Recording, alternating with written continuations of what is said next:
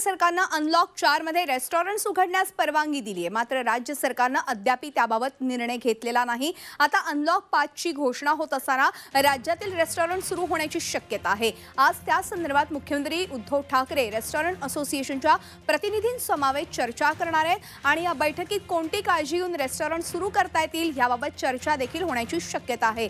आपण याच संदर्भात अधिक माहिती जाणून घेणार आहोत. आमचे प्रतिनिधी दीपक भातुसे यांच्याकडून. दीपक अनलॉक अनलॉक पाचची घोषणा होणार आहे आणि त्यामध्ये रेस्टॉरंट राज्यातले सुरू होणार का? याकडे आता सगळ्यांच्या सगळ्यांचं खरं तर लक्ष लागलंय. काय अधिक माहिती आहे? मधुरा खरं तर सप्टेंबरच्या सुरुवातीलाच केंद्र सरकारने रेस्टॉरंट सुरू करण्यास परवानगी दिली होती अनलॉक चारमध्ये मात्र राज्य सरकारने रेस्टॉरंट सुरू केले नव्हते. राज्यातील कोरोना रुग्णांचा वाढता आकडा लक्षात घेता राज्य सरकार कुठलीही रिस्क घ्यायला तयार नव्हतं आणि त्यामुळे हे रेस्टॉरंट सुरू नव्हते. रेस्टॉरंट असोसिएशनची गेले अनेक दिवस मागणी आहे की रेस्टॉरंट सुरू करावे सध्या जे रेस्टॉरंट सुरू आहेत ते. केवळ पार्सल त्यांना देता येतं. प्रत्यक्ष ग्राहकांना रेस्टॉरंटमध्ये बसवता येत नाही. मात्र राज्य सरकारची रेस्टॉरंट मालकांची मागणी आहे की पूर्णपणे रेस्टॉरंट उघडण्यास परवानगी द्यावी त्याच्यात तुम्ही काही अटी टाकाव्या जसं पन्नास टक्के ग्राहकांची उपस्थिती किंवा इतर ज्या काही अटी टाकायच्या आहेत त्या.